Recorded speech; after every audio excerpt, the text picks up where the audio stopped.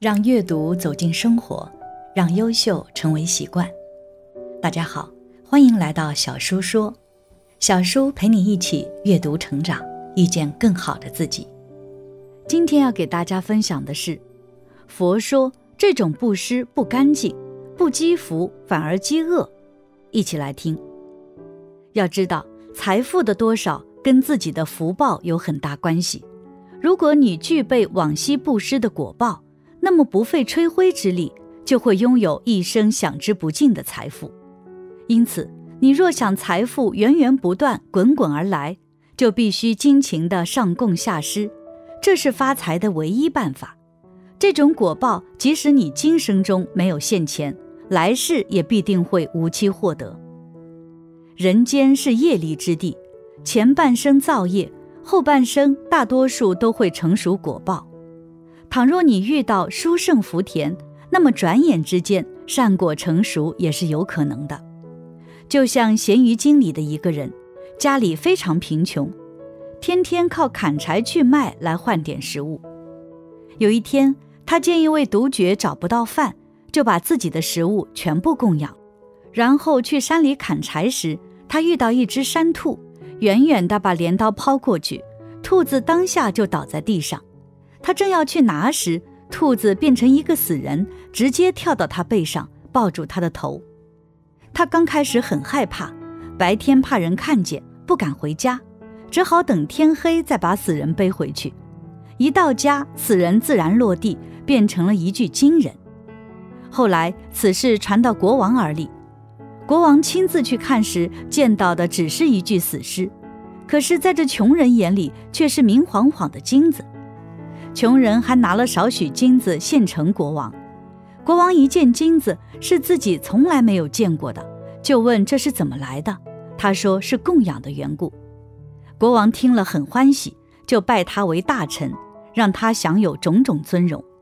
所以因果观念对我们来讲特别重要，尤其是作为佛教徒，如果你对因果不相信，最好先不要高攀大法，而应该学习《百业经》。百余经中的因果公案，以及《因明释量论》中对此的详细剖析，看因果在名言中是怎么存在的，它跟外道的道理有何不同？假如你有了因果正见，在此基础上修什么善法都很方便。就像一个农民有了田地，就可以在上面种各种庄稼；不然，你连最基本的因果概念都没有。那贪求再多的其他功德，最后也可能毁于一旦。因而，大家一定要掌握这些关键窍诀，不要为了发财去欺骗别人，或者一门心思干些偷盗等勾当，不然内心所想与身体所行背道而驰，最终不但来世会于数劫中堕为恶鬼受苦，今生以业力感召，也会变得越来越穷，越来越惨。即便拥有微乎其微的财产，自己也没有权利享用。就如同以前有个人，好不容易买了本好书，却被另一个人抢走了。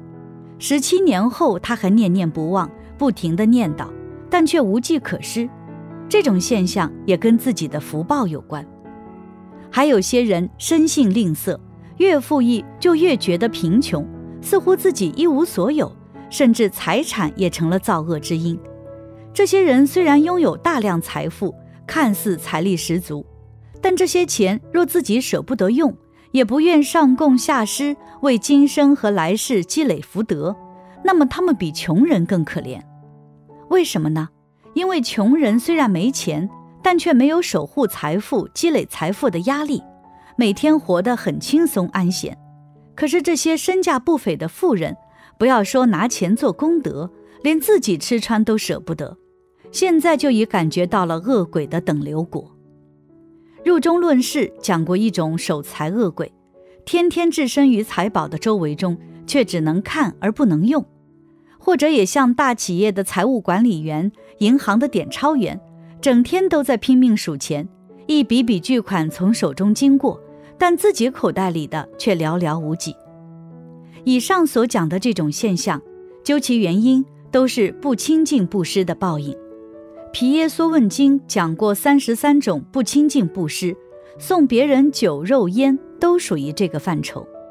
倘若你前世做过不清净布施，今生就可能变成守财奴，每天对金钱看得到也摸得着，但自己却特别贫穷，根本没有权利使用。佛陀在世时，曾在迦比罗卫国讲法，城里有一位富有的长者，虽然很有钱，但视财如命。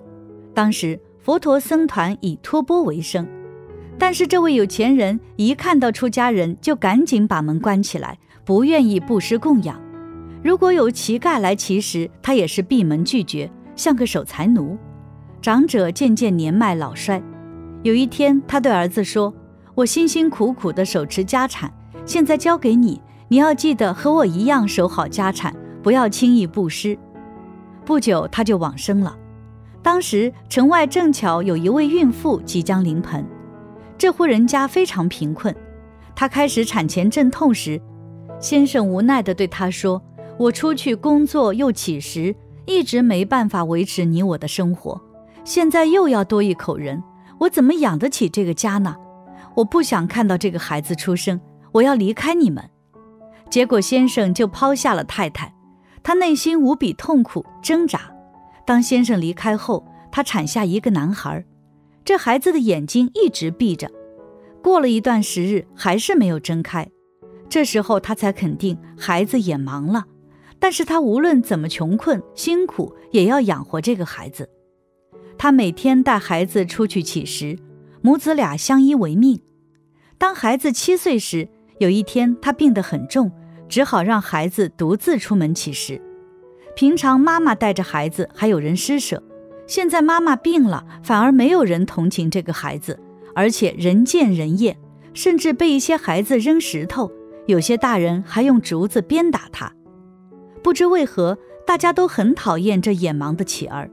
他回家后向妈妈哭诉说：“我没有乞到食物，大家都欺负我，大人打我，小孩向我丢石头，我无法乞得食物给妈妈吃。”母子俩相拥而泣，连续几天都没有乞讨到食物，只好靠喝水过日子，勉强维持生命。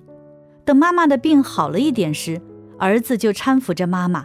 由妈妈带路出去乞食，他们走到城里一间很大的房子前面，心想这间房子的主人一定很有钱，有钱人分一两碗饭给乞者，应该不算多吧。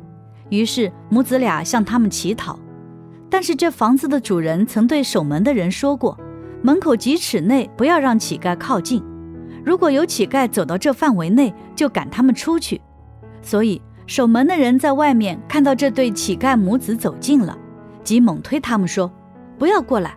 我们的规矩是乞丐不能走进门前。”乞丐妈妈一直求他们：“我已经几天没吃饭了，我孩子还这么小，求求你给我一碗饭。”孩子也一直说：“求求你，求求你，拜托你，哪怕只是半碗稀饭都可以。”他们苦苦哀求，不肯离开。这时候，主人出来骂道：“乞丐，你们怎么可以到我家门口？赶快走开，出去！”但是母子俩仍然缠着不走。后来，主人就叫人打他们，孩子被打得头破血流，母亲也被推倒在地上。这时，有一位出家的修行者从旁经过，劝阻他们说：“不能打了，不能打了！世间哪有这么不孝的人？父亲辛苦赚钱，让儿子享受。”儿子竟然还出手打父亲，真是忤逆不人道啊！有钱人听了觉得很奇怪，他说：“我什么时候打父亲？我父亲已经死了好多年了。”修行者说：“因果不昧，这乞儿前世就是你父亲，他在世时守财如命，不仁不义，所以投身在贫穷苦难的家庭。他赚了那么多钱让你享用，你竟然连一碗饭都不愿施舍。”这难道不是忤逆不仁吗？这个有钱人怎会相信呢？他说：“喂，你到底是什么人？怎会知道这些事？”修行者忽然视现菩萨像，他抬头一看，不由自主地高呼：“是文殊菩萨！”然后马上跪下求忏悔。乞儿前世为长者，因没有仁爱心，命中之后随业流转，投生到贫穷人家，成了乞丐盲儿。不仅人见人厌，还被人打骂、扔石头，这就是他懈怠堕落、不肯及时行善的果报啊！综上所述，我们作为修行人，极生中知足少欲很重要。在此前提下，对前世的因果也要值得重视。倘若你自己有福报，经常无情就能得到财富，那去享用也可以；但若实在没有福报，今生再怎么努力也不能如愿以偿，那也没有必要太伤心。只要生活过得去就可以，不应该要求太高。感谢你的观看，愿你福生无量。今天的分享就到这里了，希望你能给小叔点个赞，或者留言给出你的建议。别忘了把小书分享给你的朋友，让我们一起成为更好的自己。还没有订阅小叔的朋友，一定要记得订阅哦。我们下期不见不散。